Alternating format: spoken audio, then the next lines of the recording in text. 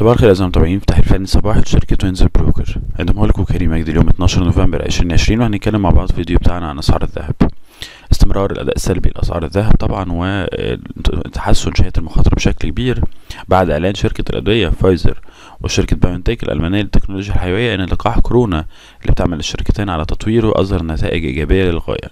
حيث أكد طبعا التجارب التي تم إجراءها أن لقاح كورونا فعال بنسبة 90% في الوقاية من الفيروس. ده يمكن الخبر اللي أثر بشكل كبير على شهية المخاطرة وانخفاض أسعار الذهب امبارح ما كانش عندنا بيانات هامة. النهاردة في انتظار بيان هام من شأن إنه يؤثر في الأسواق هو مؤشر أسعار المستهلكين الأساسي. ده طبعا بيكون باستثناء الغذاء والطاقة الشهري لشهر أكتوبر الأمريكي. متوقع ليه اتنين من عشرة في المية ودي كانت نفس نتيجة الشهر الماضي. أيضا معدلات الشكاوى من البطالة الأمريكي متوقع خمسة وتلاتين ألف مقارنة بالأسبوع الماضي اللي كان سبعمية واحد وخمسين ألف.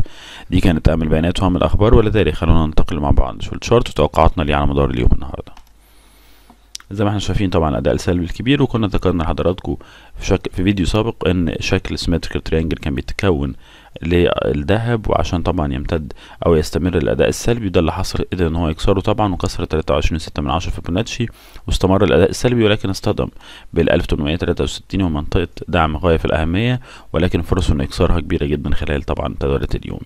أداء سلبي على ال EMA على طبعا ال stochastic على ال flat trend تقاطع المتوسطات السعرية الأسفل ثبات السعر أسفلهم كل ده ضاغط عليه بشكل كبير وذلك نتوقع مزيد من الأداء السلبي بشرط كسر ال 1836 علشان يروح لل 50 وراها ال 6 وراها ال 1836 مرة تانية كسر ال 63 وراها ال 50 وراها ال 36 السيناريو الآخر والمعاكس هتحقق بكسر ال 1886 عشان يروح لل 97 وآخر نقطة عند ال 1908 وبكده نكون وصلنا لنهاية الفيديو بتمنى لكم أكيد يوم تداول آمن وبشكركم على حسن متابعتكم. السلام عليكم ورحمة الله وبركاته.